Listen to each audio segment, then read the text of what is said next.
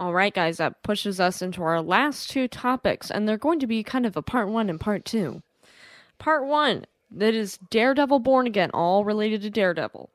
Part one is that Jon Bernthal has been confirmed. He is coming back as the Punisher. And Derek, you are a huge fan of the Netflix Daredevil series as well as Punisher as a character. I don't know how many seasons you watched of that show, but what are you feeling about this? Because I know that you really had an attachment to not only Charlie Cox, not only Vincent D'Onofrio, but as well to Jon Bernthal. Yeah, so look, those shows when they came out, especially when Daredevil came out, it was unlike any comic book show we had seen before. I I grew up watching Smallville. I was a big fan of the Arrowverse, but when Daredevil came out, it wasn't like, "Oh my god, this is a million times better," but it showed just a different way you could do comic book television. And I think that whole Defenders saga, not every one of the shows was great, and even some of the shows had great seasons and not so great seasons. Punisher, when he was introduced in season two by Jon Bernthal, I was like, man, Shane from The Walking Dead, that guy is such a dick. Like, I cannot see anybody but Shane.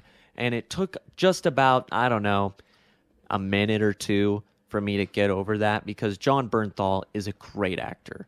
Whether it's in Fury, whether it's in The Accountant, whether it's in The Punisher, whether it's in Daredevil he always delivers. Whether it's in The Walking Dead, he always delivers. He always makes me hate him. then you haven't seen him enough as Punisher because I will tell you, I was I was just like you. I was like, "Oh my god, there's no way I could get behind." You know, it's like if you got Ramsay Bolton to come in and play the Flash. you know, I would hate the Flash. And I the Flash is my favorite hero, but I would hate the Flash. If you Have brought him in play the reverse flash. But if he's a good enough actor, then he can pull it around and make me change my mind very quickly. And he right, did. and Jon Bernthal is a great actor because I did see like a little bit later in Daredevil when him and Karen started getting closer. Like Season I two. really liked Yeah. that sensitive side of him, but he was still kind of a hard ass. Well, but it- there's- he was really likable, and it really did make you kind of root for the bad boy. You know what I mean? And I really appreciated that quality that Jon Bernthal was able to bring. And not only that, the dude beat the hell up the entire season. Like man never had a bandage not on his face or some sort of scar or bruise. Like there was like I think probably half the season he had two black eyes. yeah, literally, literally, two black eyes. He was in the hospital bed for half the time, and then gunning people down the other half. I mean, yeah. that's awesome. the physicality that Jon Bernthal can bring as well, because he's a tough dude. Uh, is just Honestly, he kind of struck me as a military guy. Like I Right. almost thought like maybe he's been in the military before acting, and I don't know if he has or hasn't, but it kind of struck me that way. Like the way he's able to bring that, like you said, the physicality and that kind of discipline that you'd expect from the military into his roles. well, he really, really studied military, and I. He might have been part of the military. I don't remember, but I know for a fact that he holds vets very high in esteem, and he is very respectful to our veterans, and is very uh, influential and helps out a lot whenever he can. I mean, being the Punisher, kind of like for Charlie Cox's Daredevil, he got really into all sorts of different organizations that are helping the blind. Same thing with Jon Bernthal as Punisher. He absolutely uh, just got absorbed into the role. I mean, he really for somebody who embodied the role so well um, and has been vocal about wanting to return for years and wanting to return only if he could do it right and do the character justice in the MCU and that it's not Disneyfied makes me really happy for him and makes me really excited not only for the future of his character but also for the tone of Daredevil Born Again because when you're adding a character like the Punisher it makes me a little less worried about that PG 13 rating, which I'm not super concerned about. I thought Moon Knight did a decent job of having violence and blood. I think the Batman is a prime example of where you can do with PG 13. So they can do a lot with PG 13. And adding the Punisher to Daredevil Born Again definitely makes me more excited. And it absolutely makes me over the moon that it's Jon fucking Bernthal, baby. yeah, I mean, I haven't seen a ton of it. Of course, I've seen bits and pieces here and there, but from what I've seen, I really enjoy the character. And I think he adds a lot to Daredevil, and their dynamic together on screen is awesome. So, and like you said, it really does set the tone for what Daredevil Born Again is going to be moving forward.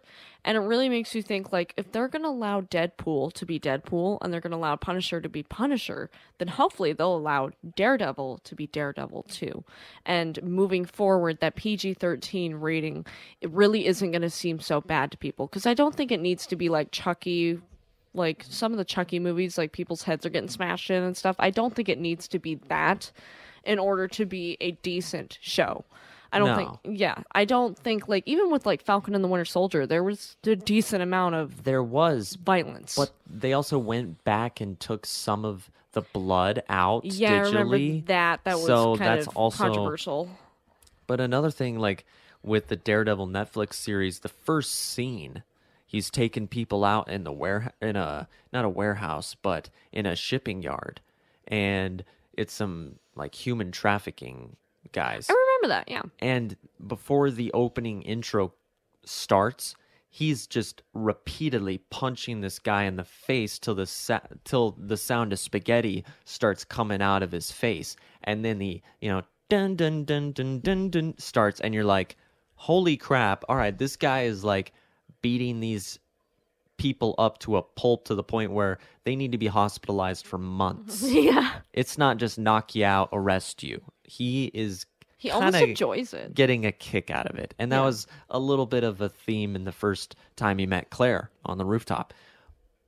But with the whole Jon Bernthal Punisher coming back, you kind of at first get excited that, hey, maybe this is a continuation of all that. Maybe the violence, which was a huge part of that Daredevil world, and even Jessica Jones and all those shows, maybe there's a chance that some of that kind of violence, even if it's not as bloody, will be carried over, especially when bringing back Punisher.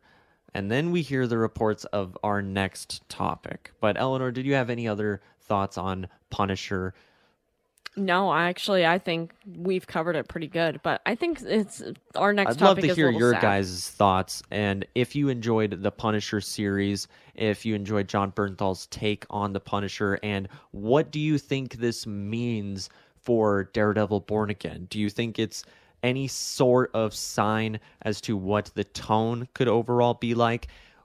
And another thing, we have heard that Daredevil Born Again is going to be more standalone format episodes, so kind of one story episodes, not like three episode arcs or anything Right, like it's that. It's gonna be more like old school Star Trek kind of. S- Right. S- Which Kevin Feige is a huge fan of Star Trek. So is there a chance that with Jon Bernthal's return, is it going to be for only a couple of episodes? One episode? Every episode? How many episodes do you think we're going to see? I'd love to hear it. All right, guys, that brings us into the